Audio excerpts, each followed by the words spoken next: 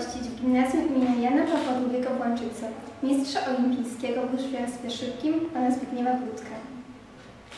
Jesteśmy ekipą Gimnius TV i chciałbyśmy zadać Panu kilka pytań. Czy pamięta Pan swoją pierwszą lekcję łyżwiarstwa? W jakim był Pan wtedy wieku?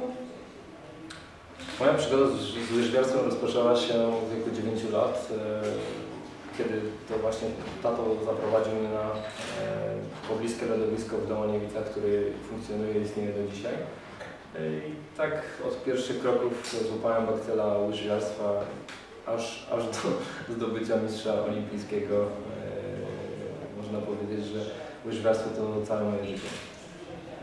Co sprawiło, że zdecydował się Pan trenować łyż- łyżwiarstwo szybkie? Czy ten sport był Pana od początku, czy też trenował Pan inne dyscypliny?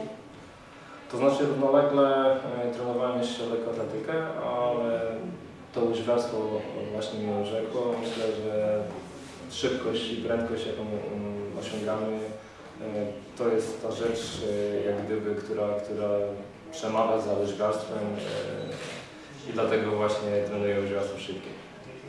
Ile lat treningu zajęło Panu dotarcie do etapu olimpijskiego? E, Tak jak wspomniałem, od 9 roku życia jeżdżę na łyżwach. E, To jest już ponad 20 lat e, treningu. W kadrze narodowej i olimpijskiej jestem e, 13 rok. Także praktycznie całe swoje życie, a- zdecydowaną, albo zdecydowaną większość poświęciłem właśnie łyżwiarstwu. Jak oceniał Pan swoje szanse przed startem na Igrzyskach Olimpijskich? Jadąc na Igrzyska e, Olimpijskie to Soczi liczyłem e, na medal e, i z takim zamiarem jechałem, aby go zdobyć. Na pewno nie, nie przypuszczałem, że będzie to złoty medal olimpijski, jednak jak się mocno w to wierzy, że zdobędzie się medal na ostatniej prostej, jak, jak, jak to mm, było widoczne w Soczi, może okazać się, że, że będzie to złoty medal cóż mogę powiedzieć, troszeczkę szczęścia do tego, e, a przede wszystkim e, masę ciężkiej pracy, którą włożyłem w przygotowania, zaskutkowały e, tym, że zdobyłem złoty medal. Co zmienił w Pana życiu złoty medal olimpijski? Co zmieniło? Hmm, Na pewno bardzo dużo. Tak naprawdę inaczej podchodzę do, do, do swojego życia. Jest, jest dużo więcej obowiązków tak naprawdę. E, Są dużo większe wymagania. Mm, Na pewno nie jest, nie jest teraz łatwiej, jakby się mogło wydawać. E, Chociaż e, sportowo jestem już spełnionym sportowcem właśnie. Myślę, że jest jeszcze parę rzeczy do zrobienia i chciałbym przygotować się do kolejnych Igrzysk Olimpijskich. Będzie to na pewno bardzo trudne, ze względu na to, że moja rozpoznawalność, moja jak gdyby doba nie wydłużyła się w żaden sposób, a obowiązków jest coraz więcej. Każdy chce gościć mistrza olimpijskiego e, i nie jest to takie łatwe, żeby, żeby to wszystko pogodzić i poukładać. Czy uważa Pan, że na początku intensywnych treningów jest już za późno, czy mamy jeszcze czas? Dla, dla Was? Tak.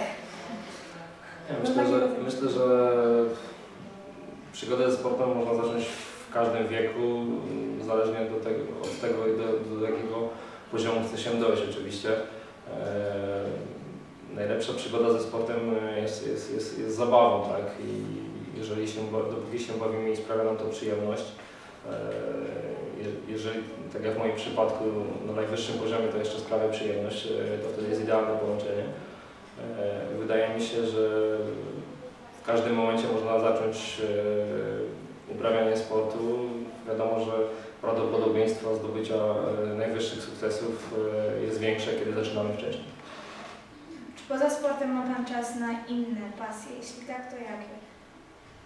Poza sportem tak naprawdę wiele nie zostaje. Troszeczkę czasu dla rodziny, praca zawodowa. Jeżeli już to motoryzacja w jakimś minimalnym stopniu.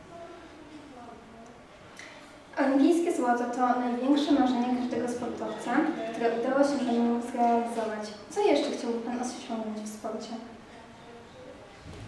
Powiem tak, e, złoto olimpijskie jest dla mnie szczytem marzeń, e, jednak e, stawiam sobie kolejne wyzwania.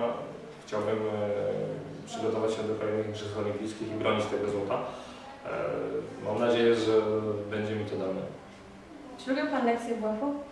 Oczywiście, naj- najlepsza e, lekcja jaka, jaka jest w szkole, bo tak naprawdę z, z dużą przyjemnością zawsze e, uczęszczałem na te lekcje i dziwiłem się, że jeżeli ktoś e, ucieka, zwalniał się z lekcji wychowania. Koniec Nie, i em, czy podobały się Panu dzisiejsze zawody i jaką radę dałby Pan naszym gimnazjalistom, aby mogli osiągnąć takie sukcesy jak Pan? E, Tak jak wspomniałem tutaj na zakończenie, e, bardzo fajna in- inicjatywa e, organizowanie takich zawodów w szkołach. Macie trenera WF-istę, pana Mirosława, który, który daje wam świetny przykład. Wychował kolejnych, wychował, wielu sportowców i tak naprawdę ja też zaczynałem, tak jak wspomniałem, od trenera w swojej małej miejscowości w Domajowicach. E, Gdyby nie on, myślę, że nie, nie zaszedłbym tak daleko i moja przygoda ze sportem nie potoczyłaby się w ten sposób. E, Na pewno trzeba takiej osoby, takiego, takiej osoby, która pokieruje naszą karierą w odpowiednim kierunku, a później to już masa pracy i troszeczkę szczęścia